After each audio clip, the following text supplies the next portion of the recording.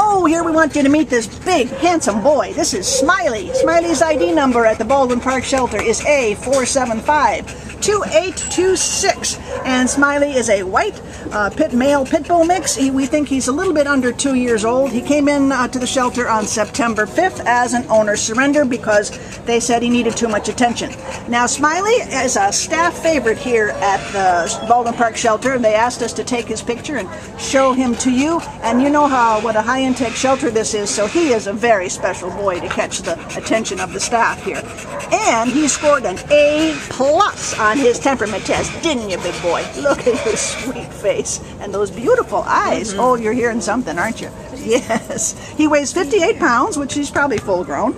And uh, he is just stunningly gorgeous and a sweetheart. If this is a breed you know and love, please come down and meet this very, very special Smiley because he got a needs a new home. Bye, baby. Oh, he does have a heart. He does have a at heart. Look at- Look at that. You've got a little heart on your neck. What a sweetheart. Come on down and meet him. Bye-bye.